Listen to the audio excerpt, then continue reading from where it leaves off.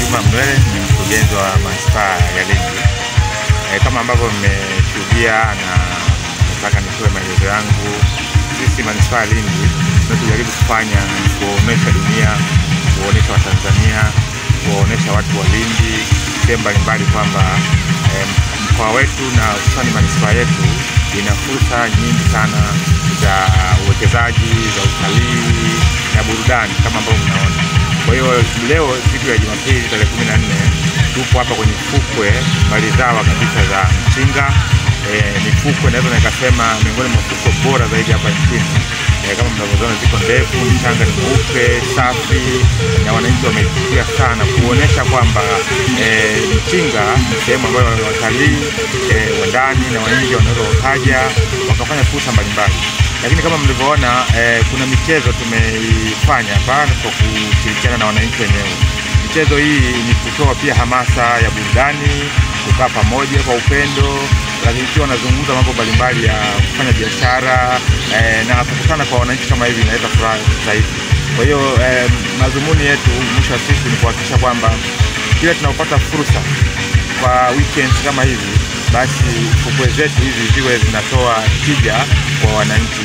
Yawezekana ikawa ni kupata mawazo ya kibiashara, mawazo ya uwekezaji, lakini kama nilivyosema awali, kuonesha Watanzania kwamba njooni Mchinga, njooni manispaa ya Lindi, tunazo fukwe bora zaidi ambazo watu wanaweza kufanya uwekezaji wa kila aina.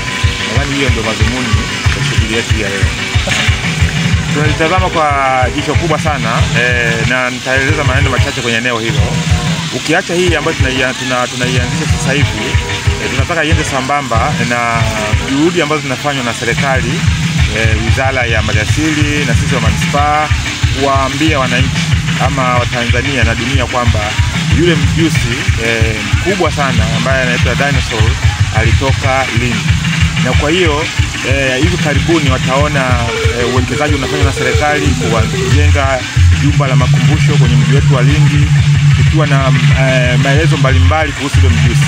Sasa tunataka tuchukue hiyo fursa, sio tu mtu aje kuona eh, maelezo ya mjusi na mabaki na vitu kama hivyo, lakini akifika kwenye mji wa Lindi apate fursa pia ya kutembelea hizi bichi kama mtalii, kupata historia yake na kuunganisha haya matukio mawili ili iwe ni historia mzuri kwa yule ambaye atapata fursa ya kuja. Tumeanza, nafahamu tumeanza kidogo kwa hali ya chini e, lakini mikakati yetu hasa ni kuhakikisha kwamba sehemu hizi ambazo tumeteua kwanza zinakuwa zinafahamika kwa labda kila Jumapili ama kila mwisho wa mwezi mara moja, na tuweke miundo mbinu ambayo itakuwa inafurahisha, miundombinu rafiki kwa wale wanaokuja kuona kwamba ni sehemu ya kufanya shughuli fulani ya utalii na kuja kupumzisha akili zao. Kwa hiyo mikakati yetu ni kuhakikisha kwamba kila e, mwisho wa mwezi bichi zetu hizi kuna shughuli inafanyika ambayo itakuwa inaratibiwa na sisi manispaa.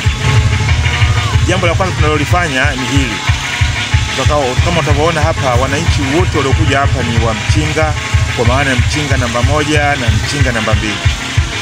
Pamoja na michezo hile, lakini kuna eh, elimu wataambiwa namna ya kujaribu kuboresha bidhaa zao pale ambapo wanataka zitoke kwenye kwenye mkusanyiko kama hii, lakini kuwapa tu elimu nyingine nje ya eneo hili. Kwa hiyo utaona kwamba mkakati tunaofanya ni huu, lakini pia kule mtaani kwenye maeneo yao tunao viongozi wetu kwenye ngazi ya kata na vijiji ambao wanatoa hamasa ya kuwaambia kwamba kila rasilimali tuliyokuwa nayo basi tuitunze ili kesho ije kutusaidia.